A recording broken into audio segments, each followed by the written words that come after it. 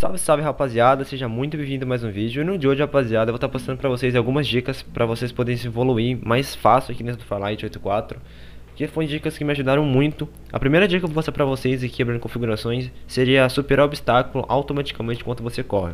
Eu recomendo vocês ativar isso porque vai ter um momento que você vai estar trocando um tiro ali perto de obstáculos Por exemplo, caixa, é, janela ou qualquer outro tipo de obstáculo isso aqui meio que vai fazer uma ação e vai fazer o seu personagem cancelar o, meu, o arma que está tirando algo do tipo, tá ligado? Então eu recomendo você deixar desativado.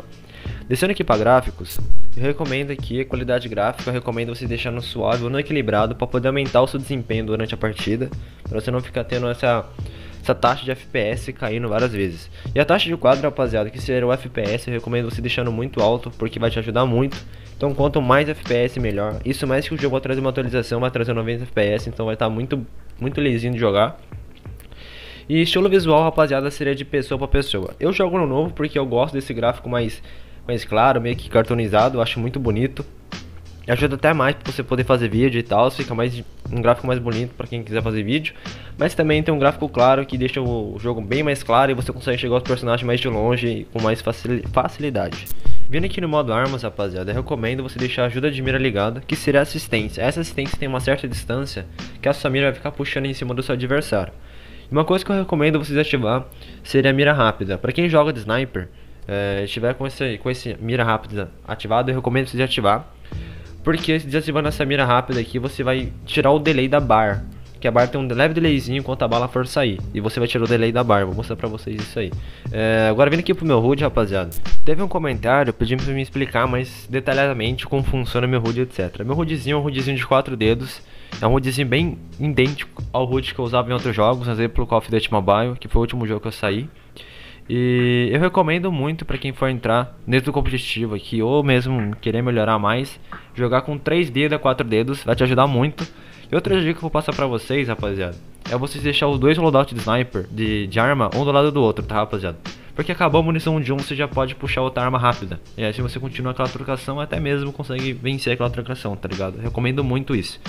Agora, descendo aqui pra aba de sensibilidade, eu não vou aprofundar nesse vídeo o assunto de sensibilidade.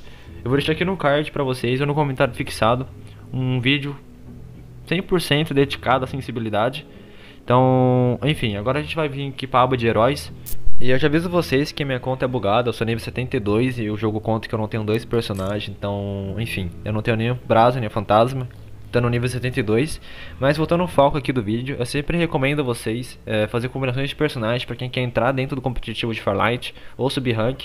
Eu recomendo vocês muito fazer combinações de habilidade de personagem, porque isso vai fazer a partida ficar mais fácil e você conseguir garantir um tipo de vitória ou até mesmo levar um squad ou um Doom facilmente. É, eu jogo bastante o solo versus duo. E aqui tem bastante personagem que você consegue jogar individual. Exemplo a Momoi. Por mais que ela seja suporte, sim, você consegue jogar com ela individual. Porque ela tem a habilidade de relar a vida e relar escudo mais rápido do que o seu inimigo, do que o tempo normal. Então ela acelera a velocidade de escudo e vida. E por mais que ela tenha uma bomba tóxica e smoke, que ajuda muito nisso. E como outros personagens que você consegue jogar individual. Exemplo Fantasma, MK e Sunil. Esses personagens que eu falei que já dá pra jogar individual, também dá pra jogar com time, tá rapaziada? É, então minha recomendação pra vocês é sempre fazer combinações de habilidades. Porque isso vai ficar mais fácil pra você garantir a partida, tá rapaziada? Então rapaziada, o Jetpack ele será uma movimentação principal daqui dentro do game. Você consegue fazer um rush, fugir de uma trocação, é, fazer rotações por cima das casas, ou até mesmo quebrar mira do adversário. Então o Jetpack ele será a movimentação principal dentro do game, tá?